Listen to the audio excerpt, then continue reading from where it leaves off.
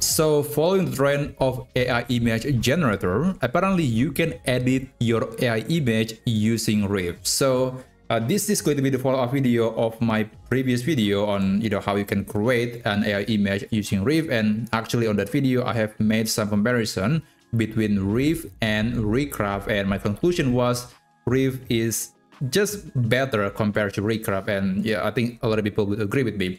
So this video will focus on how you can edit your existing AI image using Reve and you just need to send an instruction or, or prompt and an AI will do the rest. So for this example, I have these two pictures of a young woman in uh, her bedroom and I just want to do some editing. I want to change the color of the hair from black to a light green or something. So what you need to do is you have to click on the picture first and it will bring this box at the bottom. Uh, on the instruct section, you can write the modification that you want to have for that picture. So by the way, this is going to be my first time, so I have no idea how this thing actually going to work or if there's anything else that I need to know. But I do believe that this is going to be similar to the editing process in the Grok or Google AI Studio, at least hopefully. All right, here, I'm going to ask AI to please change the hair color to green.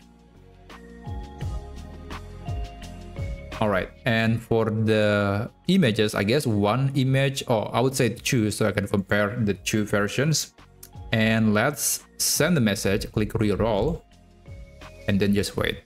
Okay, these two are going to be the new images, and hopefully this woman will have the green hair.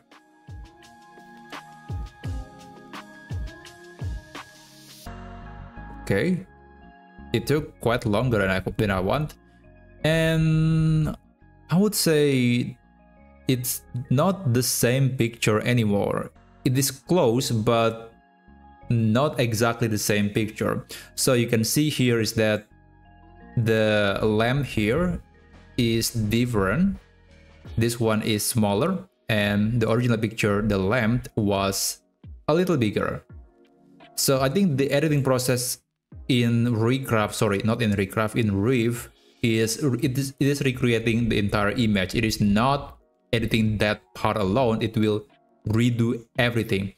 So it is not quite as good as Google AI Studio or as good as the Grok that I have featured on my previous video. So I would say still okay, but I was hoping that this is going to be editing only the hair, not the entire picture.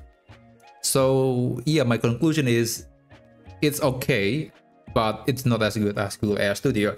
And not to mention, you cannot upload your own image. So you can only edit existing AI image, at least for now. Given that this tool is very new, I would I would believe that they're going to add more and more features in the future to uh, to make it more competitive to other AI models. But yeah, that's how you can edit an image using Reve AI Image Generator.